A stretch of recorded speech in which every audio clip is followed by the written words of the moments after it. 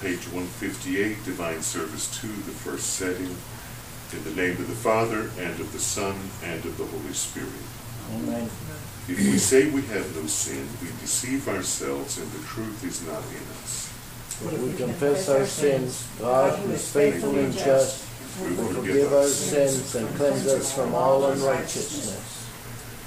Let us then confess our sins to God our Father. Most merciful God, We confess that we we are by nature sinful and unclean. We have sinned against you in thought, word, and deed, by what we have done and by what we have left undone. We have not loved you with our whole hearts. We have not loved our neighbors as ourselves. We Justly deserve your present and eternal punishment. For the sake of your Son, Jesus Christ, Have mercy on us, forgive us, renew us, and lead us, so that we may delight in your will. And walk in your ways to the glory of your holy name. Amen. Almighty God in his mercy has given his Son to die for you and for his sake forgives you all your sins. As a called and ordained servant of the word, I therefore forgive you all your sins in the name of the Father, and of the Son, and of the Holy Spirit. Amen. We turn to page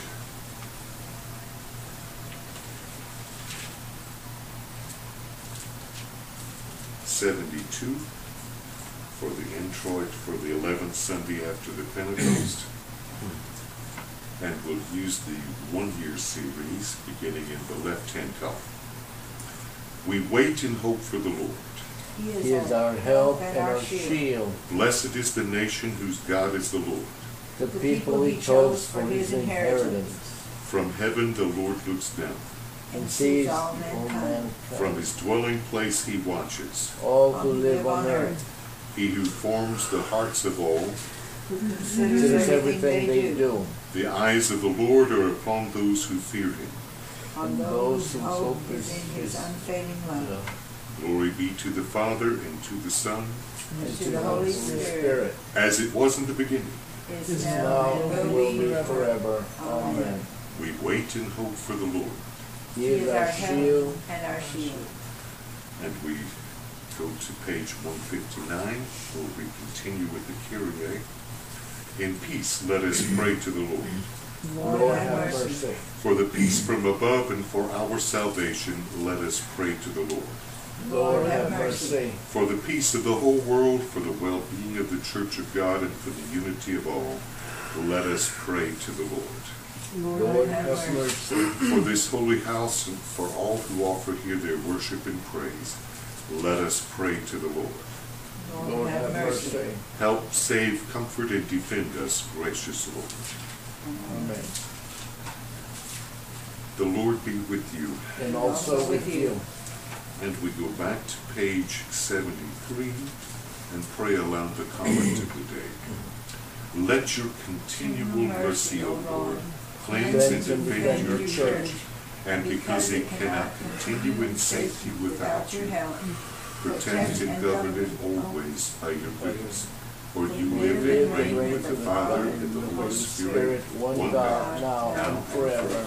Amen. Amen. Our first reading for today is from the 73rd Psalm, beginning with the 25th verse. Whom have I in heaven but you? and earth has nothing I desire beside you. My flesh and my heart may fail, but God is the strength of my heart and my portion forever. Those who are far from you will perish. You destroy all who were unfaithful to you. But as for me, it is good to be near God. I have made the sovereign Lord my refuge. I will tell of all your deeds. And then from Daniel, the ninth chapter.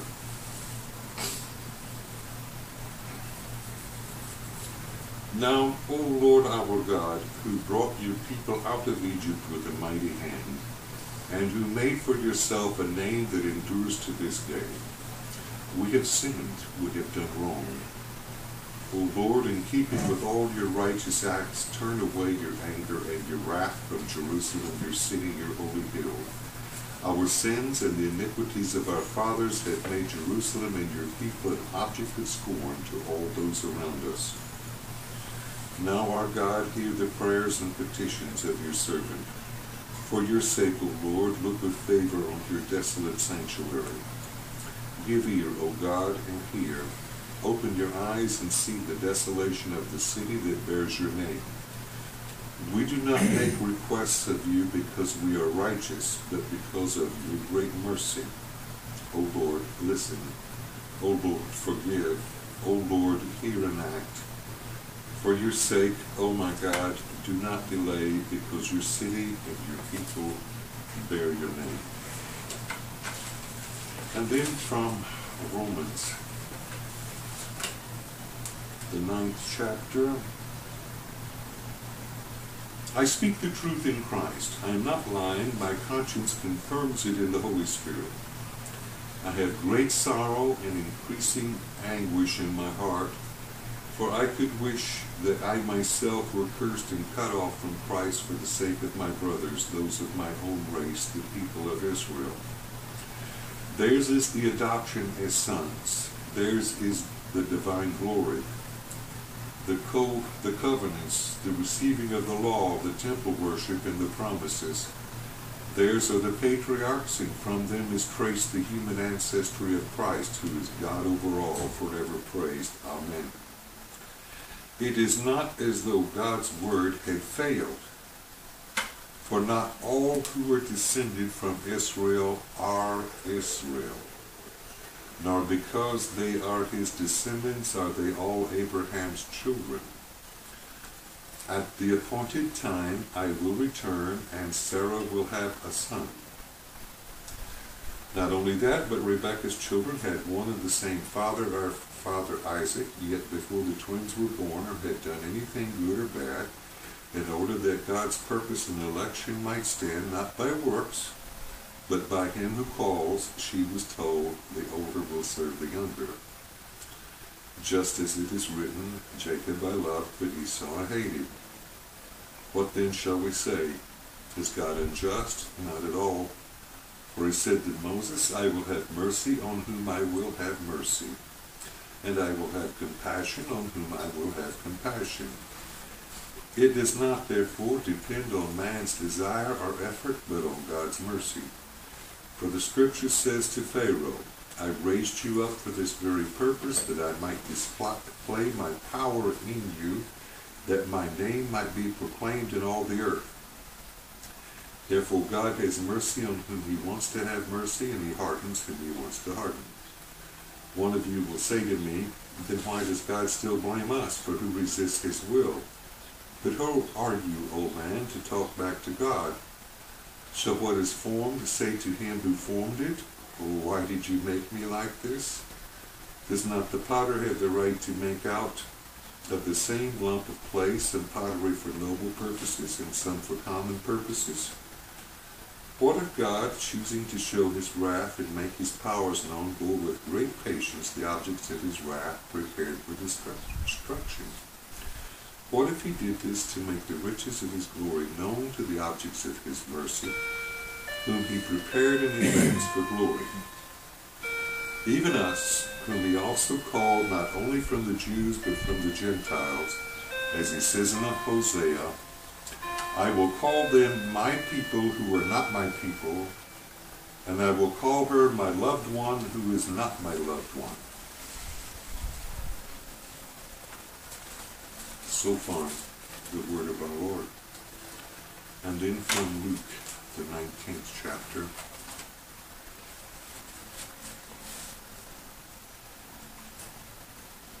As he approached Jerusalem and saw the city, he wept over it and said, If you, even you, had only known on this day what would bring you peace. But now it is hidden from your eyes the days will come upon you when you when your enemies will build an embankment against you and encircle you and hem you in on every side. They will dash you to the ground, you and the children within your walls.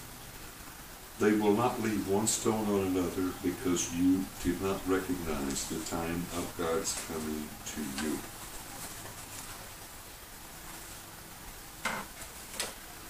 So far, the word of our Lord.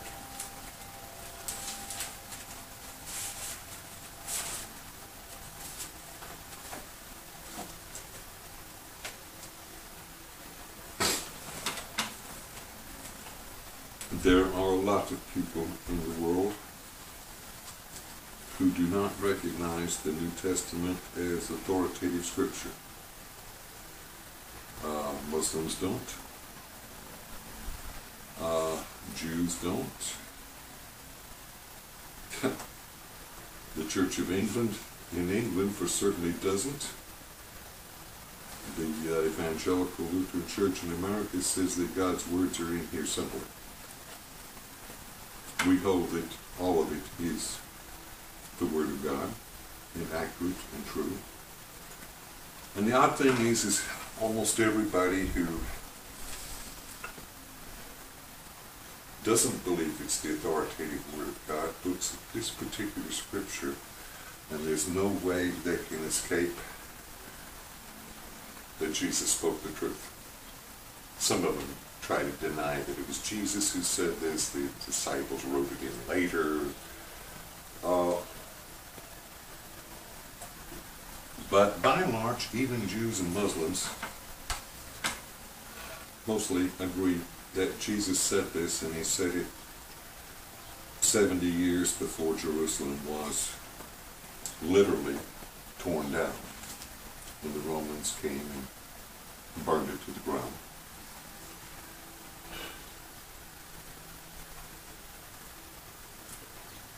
So, if even the enemies of the faith recognize this as the truth spoken here, we ought to too, and we ought to examine it very closely.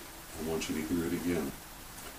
If you, even you, had only known on this day what would bring you peace, but now it is hidden from your eyes. The day will come upon you when your enemies will build an embankment against you and encircle you and hem you in on every side. They will dash you to the ground, you and the children within your walls. They will not leave one stone on another because you did not recognize the time of God's coming to you.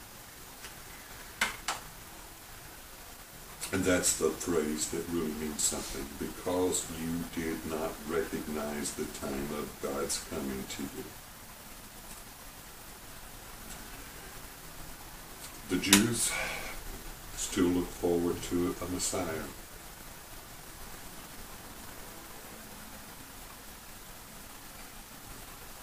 The Muslims don't believe in any sort of Messiah at all, and certainly don't believe Jesus was a Messiah but they believe the closest they're going to get is Muhammad, to whom some angel appeared, not God himself. In other words, they have all their scriptures secondhand.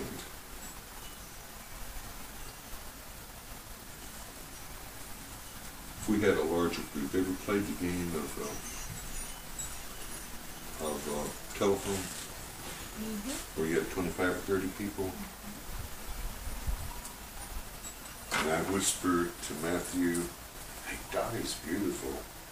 And by the time it gets around through 30 people, Dottie's over here slapping the heck out of me because what Joe tells her is Dottie's just ugly. I mean, it changes as it goes. I mean, so do you want secondhand news or do you want first-hand news from God? Me, I like the first-hand news right here. Because you did not recognize the time of God's coming to you. Jesus is Emmanuel, God with us. The angels told us that, and Jesus himself informed us of that, and Jesus is the Son of God, He is God, and we have it firsthand. And there were a whole lot of people in Jerusalem that didn't pay any attention to that. A lot of them did when they saw Jesus rose from the dead. You know, a lot of people saw it. And people believed, and people believed uh, the, the witnesses, the eyewitnesses of that, even though it was secondhand, they believed, as we believe. Uh, but there were many people there who did not. And I think we've talked about heavenly time before, and this is important. Jesus also, before this, said, This temple will be torn down, and in three days I'll build it back. And of course, when they were snarling at him at his trial, uh, they were accusing him of wanting to tear the temple down. Uh, never mind that he was going to build it back. Let's see. We were angry at the guys who destroyed the ten, Twin Towers in New York. They tore them down. They never had the opportunity to build them back? But had they bought the Twin Towers, evacuated them, dynamited them, and built an even bigger building, they'd have been heroes, wouldn't they? Well, of course, that's not the way they went about it. But they were accusing Jesus of being a terrorist, in effect, threatening to destroy the temple, even though obviously he didn't have the means to do it. But uh, it was thought police. It's all a trumped up deal, but uh, but Jesus had said he would build it back, and was he talking about Herod's temple all gleaming white over there on the hill? Not at all. He was talking about his own body, the temple, him. And in three days it would be built back. And he's not talking about the destruction of Jerusalem in 70 years, except maybe only incidentally here. He's talking about the destruction that comes to those who don't believe. Let's see now.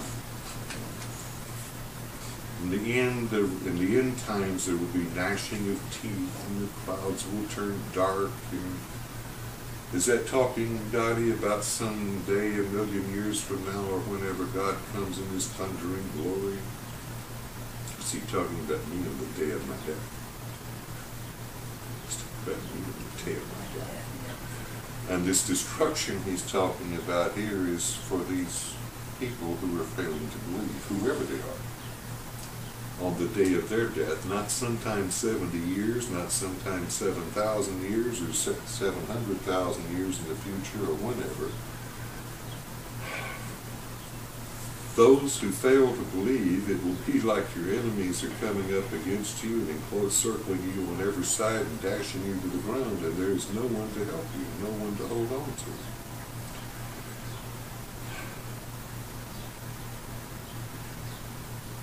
Those of faith in a time of peril like that, in the hour of death, we have someone to hold on to, don't we? And not necessarily a spouse or girlfriend are such, because there comes a time when you're dying when you can't even feel or know they're there. But we have Jesus' hand to hold us and take us through the other side. And in fact, we have nothing at all to fear. And the reason our Lord has wept is because it distresses him that there are people who turn away and reject his hand and refuse to hold it, refuse to have any any part of him in those times. The psalm we, we heard earlier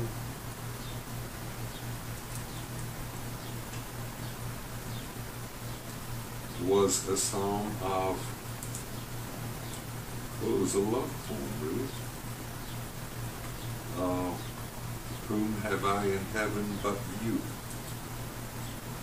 And on earth and earth has nothing I desire beside you. So, let's see, Donnie. If I die, say you've gone on before me, not like as young as you are, but Yep. uh, can I hold out my hand to you and let you help me into heaven? No. Nope. Who have I in heaven but, he's talking to God here, whom have I but you? You're not gonna help me in either, are you, Matthew? Nope. Didn't think so.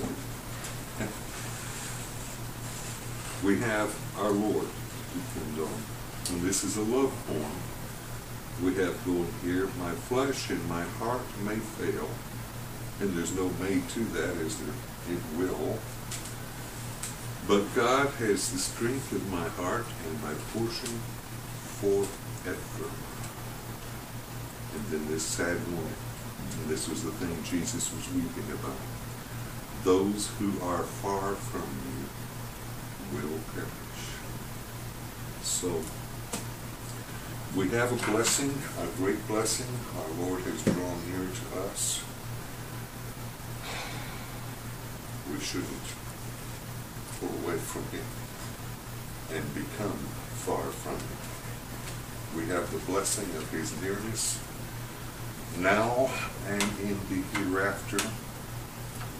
And one of the joys of that, somebody this week was trying to explain to me jihad, um, which is a very confusing concept for Westerners.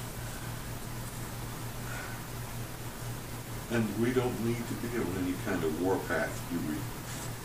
About anything at any time. Because God is taking care of us. He's doing what we need to have done. He takes care of it. Uh, we don't need to get upset about a whole lot. We just trust in Him and do what we're supposed to do every day. If that means go to work, we go to work. If that means take care of the kids, it means take care of the kids. If not, not. You know, whatever He puts in front of us. Amen. Let us turn to the Apostles' Creed on page 167. I believe in God, the Father Almighty, maker of heaven and earth, and in Jesus Christ, his only Son, our Lord, who was conceived by the Holy Spirit, born of the Virgin Mary, suffered under Pontius Pilate, was crucified, died, and was buried. He descended into hell. The third day he rose again from the dead. He ascended into heaven, and sits at the right hand of God the Father Almighty. From thence he will come to judge the living and the dead. I believe in the Holy Spirit, the Holy Christian Church, the communion of saints, the forgiveness of sins, the resurrection of the body, and the life everlasting. Amen. Let us pray. Almighty Father, we thank you that your hand is upon us. We thank you that you have sent your Son to be with us, to give us peace, to guide us away from thinking distress is an answer to anything, to take distress and fear away from us, and to hold our hand as we go through the dangers of this world and the dangers of the end of our life and into the life to come. Lord, we ask you to be with those who do not believe and to bring them knowledge through your Holy Spirit of the Comforter, to bring them knowledge of the comfort that our Lord Jesus Christ can bring to every heart and to every soul. In the name of Jesus we pray. Amen. we turn then to page 170 and continue. The Lord be with you. and also with you. Lift up your hearts. Listen to the Lord. Let us give thanks to the Lord our God. It is right to give him thanks and praise. It is truly good, right, and salutary that we come before you giving you thanks and praise at all times. And therefore with angels and archangels and all the hosts of heaven, we come before you evermore praising you and saying, Holy, Holy, holy Lord, God of power and might, heaven and earth are full of your glory. Hosanna, Hosanna, Hosanna in the highest. Blessed is he who comes in the name of the Lord. Hosanna in the highest. Blessed are you, Lord of heaven and earth, for you have had mercy on us children of men, and given your only begotten Son, that whoever believes in him should not perish but have eternal life. We give you thanks for the redemption you have prepared for us through Jesus Christ. Send your Holy Spirit into our hearts that he may establish in us a living faith and prepare us joyfully to remember our Redeemer and receive him who comes to us in his body and blood. Amen. Lord Jesus, remember us in your kingdom and teach us to pray.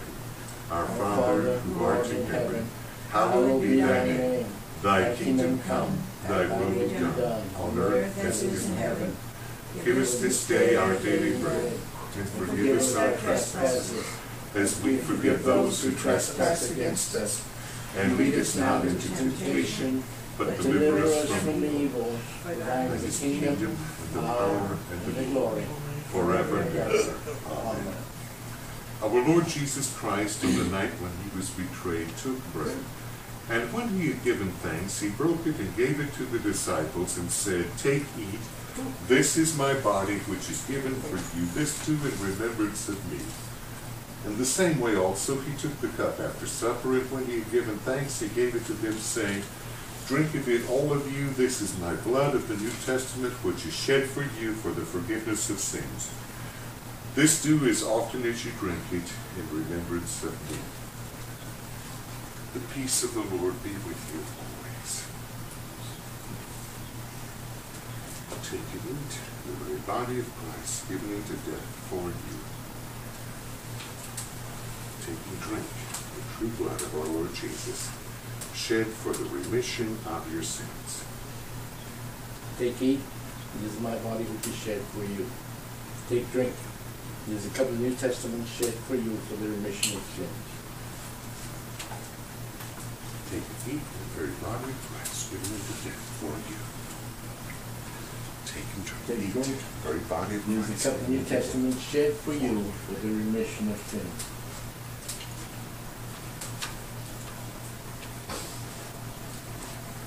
Take, drink. This is a cup of the New Testament shed for you for the remission of sins.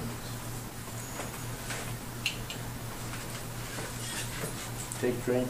This is a cup of the New Testament shed for you for the remission of sins. Now may this true body and true blood of our Lord Jesus bless you and preserve you in the true faith to life everlasting. Amen. Let us pray. We give thanks to you, Almighty God, that you have refreshed us through this salutary gift. And we implore you that of your mercy you would strengthen us through the same in faith toward you and in fervent love toward one another through Jesus Christ, your Son, our Lord, who lives and reigns with you in the Holy Spirit, one God, now and forever. Amen.